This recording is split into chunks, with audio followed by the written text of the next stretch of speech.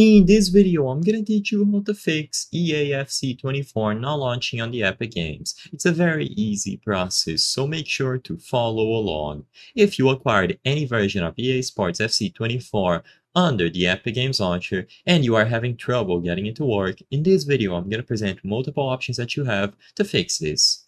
So first, go over to the library inside of the launcher. I just want to say something very quick. You will notice that on this account, I don't own EA at the moment, but don't worry, I'm still going to show you what you have to do. I'm going to be performing the matches with Rocket League, and you simply have to follow along using EA. I apologize for this, but for the first method, all that you have to do is click on these little three dots, go over to manage, and then verify the files. What this is going to do is scan all of the files that were downloaded by the Epic Games Launcher for EAFC24, and if it detects that any of the files were missing or corrupted, they will be re-downloaded. Doing this can help you address issues to the game not launching because of missing files, and it is extremely simple to do. So this is what you should always do first when you encounter problems with games not launching. So go ahead, see if it works, and if no files were reacquired or if it still doesn't work, then we can move on to other options. Now, as you might be aware, EAFC24 is available on the EA launcher and to my knowledge even if you buy it on the, under the Epic Games you will still have to go through the launcher.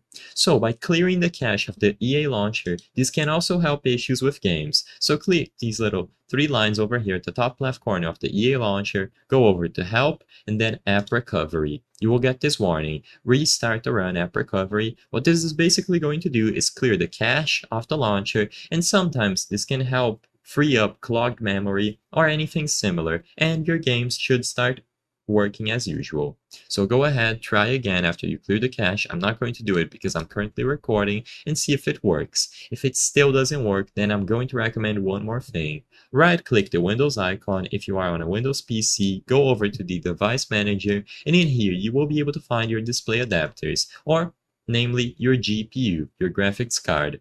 Note down the model, and if you have something like integrated graphics, what you can try to do is right click it and go to update driver. Now, if you have something from NVIDIA or AMD like me, I recommend that you go over to the respective website and you download the latest drivers available. So for example, as you saw, I had a Radeon RX 7000 series, 7900 series, and then finally the model 7900 XTX, so I'll be able to download my drivers from here. Alternatively, if you have something from NVIDIA, visit their website, click on drivers, and then go into GeForce, select the series, the model, and download the drivers.